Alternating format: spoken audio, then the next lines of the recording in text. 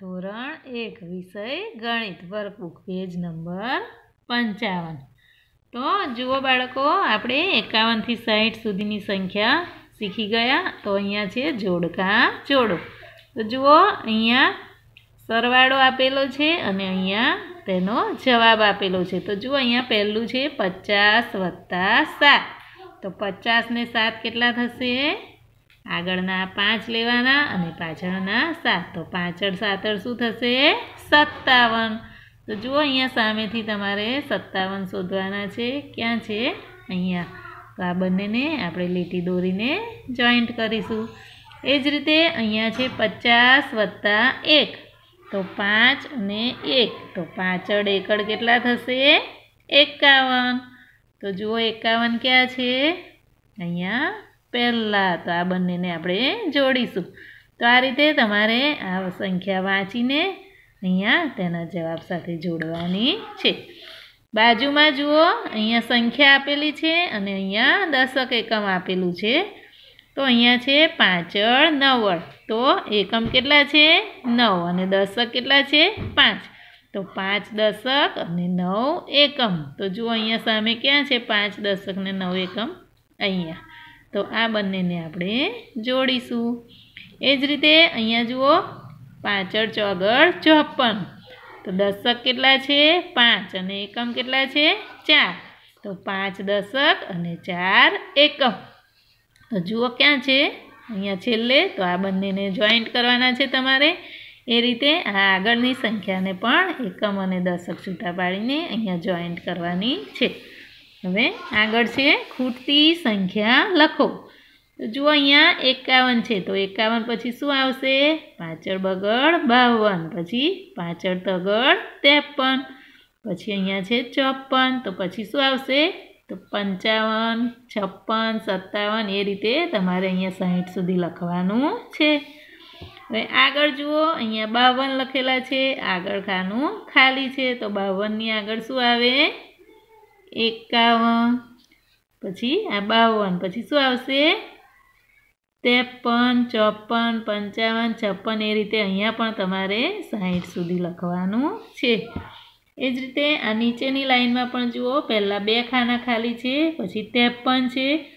તો ત્રેપનની આગળ શું આવશે? ત્રણની આગળ શું આવે? બે. તો અહીંયા પાછળ બગડ બાવન. પછી બેની આગળ શું આવશે? એક. તો પાછળ એકડ એકાવન. તો આ રીતે તમારે આ નીચેની લાઈન પણ એકાવનથી સાહીઠ સુધી લખવાનું છે. હવે આગળ છે, સૌથી મોટી સંખ્યા ઉપર રાઉન્ડ કરો. તો જુઓ અહીંયા છે, અઠ્ઠાવન, બાવન અને પંચાવન. તો આમાં સૌથી મોટી સંખ્યા કઈ છે? જુઓ આગળ તો બધે પાંચ પાંચ છે. તો આપણે પાછળની સંખ્યા જોઈશું. આઠ, બે અને પાંચ. તો આમાં સૌથી મોટી સંખ્યા કઈ આવે? આઠ આવશે. તો આપણે અઠાવન ઉપર રાઉન્ડ કરીશું. એ જ રીતે આગળ છે એકાવન, ચોપન અને ત્રેપન. તો જુઓ આમાં એક છે, ચાર છે અને ત્રણ છે. તો પહેલું શું આવશે? એકાવન. તો આપણે એની પર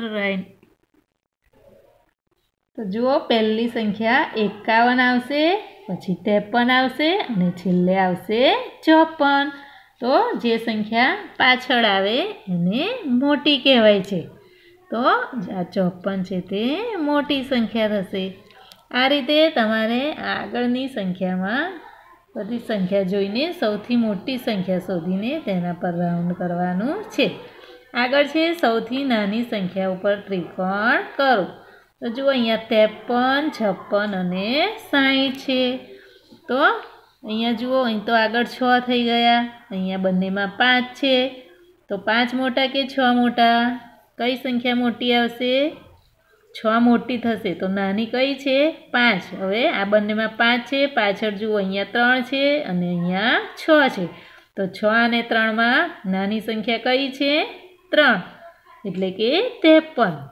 તો આપણે તેની ઉપર આ રીતે ત્રિકોણ કરીશું. જો આ રીતે નાની સંખ્યા શોધતા ના આવડે, તો તમારે અહીંયા એકાવનની લાઈન છે, એ જોવાની છે. તેમાં સૌથી પહેલી જે સંખ્યા આવે, જુઓ અહીંયા ત્રેપન, છપ્પન અને સાહીઠ આ ત્રણ સંખ્યા હતી. તો સૌથી પહેલાં સંખ્યા કઈ આવે છે? ત્રેપન. તો તે નાની સંખ્યા છે.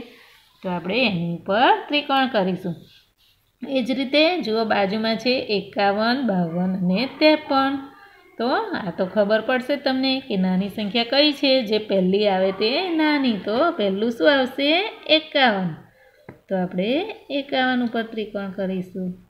તો આ રીતે તમારે આ બાકીની સંખ્યા જોઈને નાની સંખ્યા ઉપર ત્રિકોણ કરવાનું છે.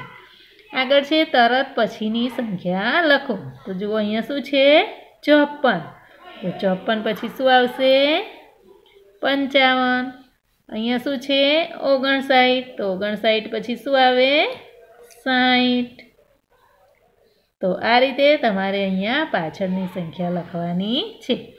આગળ છે તરત પહેલાંની સંખ્યા લખો. તો ત્રેપન છે. તો ત્રેપનની આગળ શું આવશે? એકાવન, બાવન અને ત્રેપન. તો ત્રેપનની આગળ શું આવ્યું? બાવન. એ જ રીતે જુઓ, અહીંયા પંચાવન છે, તો પંચાવનની આગળ શું આવશે? આ પાંચ છે, તો પાંચની આગળ શું આવે? ચાર. તો પાછળ ચોગળ ચોપન. તો આ રીતે અહીંયા તમારે આગળની સંખ્યા લખવાની છે. હવે છે વચ્ચેની સંખ્યા લખો. તો પંચાવન પછી શું આવે? છપ્પન. પછી અહીંયા છે સત્તાવન. આ જ રીતે બાવન. તો બાવન પછી શું આવશે? અહીંયા બે છે, તો બે પછી શું આવે? ત્રણ. તો પાછળ તગડ ત્રેપન, પછી અહીંયા છે ચોપન.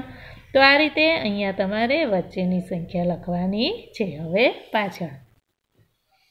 હવે જુઓ અહીંયા લખ્યું છે, સમજો. તો આગળ આપણે પાછળ એકડ એકાવનની લાઈન શીખી ગયા. હવે અહીંયા આપણે શું શીખીશું? છગડ એકડ એકસઠ. તો જુઓ, આ લાકડાની ભારી બાંધેલી છે દિવાસળીની. તો જુઓ કેટલી છે? એક, બે, ત્રણ, ચાર, પાંચ અને છ. તો છ દશક એટલે કેટલા થાય? સાહીઠ. આ એક બારીમાં કેટલી વાંચી છે? દસ છે. તો છમાં કેટલી થાય? સાહીઠ. વત્તા આ એક છે માચીસ તો સાહીઠને એક કેટલા થશે? એકસઠ. તો જુઓ અહીંયા લખ્યું છે ને, છ દશક અને એક એકમ. બરાબર. એકસઠ. સાહીઠ વત્તા એક બરાબર એકસઠ. એવી જ રીતે અહીંયા ફરી જુઓ, આ છ આપેલી છે ભારી તો છ દશક એટલે સાહીઠ વત્તા બે. સાહીઠમાં બે ઉમેરીએ તો કેટલા થશે? બાસઠ. તો છ દશક અને બે એકમ બરાબર બાસઠ. સાહીઠ વત્તા બે બરાબર બાસઠ. એ જ રીતે અહીંયા જુઓ, આ છ છે ભારા બાંધેલા, તો સાહીઠ વત્તા છૂટા કેટલા છે? ત્રણ. તો સાહીઠ ને ત્રણ, ત્રેસઠ. એ જ રીતે અહીંયા સાહીઠ ને ચાર, ચોસઠ. સાહીઠ ને પાંચ, પાસઠ. એ રીતે જુઓ, અહીંયા સાતડે મીંડે સિત્તેર સુધી અહીંયા લખેલું છે. તો તમારે બાળકો, આ છગડ એકડ એકસઠથી સાતડે મીંડે સિત્તેર સુધી તમારી નોટબુકમાં અંક અને શબ્દોમાં બે વખત બોલી બોલીને લખવાનું છે.